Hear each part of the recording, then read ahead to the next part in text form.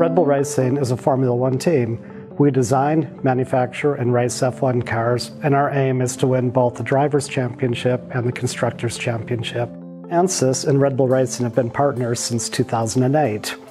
Our relationship started with CFD, but over the years, ANSYS has expanded the tool set, and as new tools have been available, we've adopted these best-in-class tools into our ecosystem.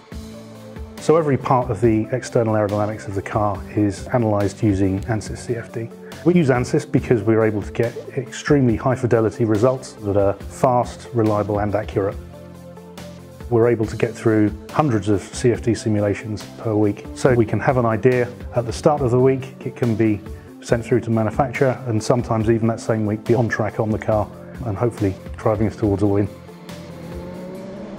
Over a race weekend, our race strategy and the decisions we make need to be spot on in order to get the most performance out of the car. But the car also needs to be reliable, so you can have a fast car, if it doesn't finish, you're nowhere. Murray Walker once said, to finish first, first you have to finish. And so to operate a reliable race car, we need every employee in the company to be using the single source of truth for material information and material information processes. The tool that we use to manage our material data information is the ANSYS Granta MI product. The benefit of this is we can access that from design, engineering, manufacturing, and all the way through to the track.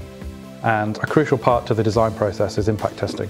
ANSYS LS-DYNA is a fast and efficient tool to help us get the right design to track. So having a simulation for impact testing is extremely advantageous. And having a user-friendly tool to do that is critical. ANSYS simulation tools pave the way for success on the racetrack.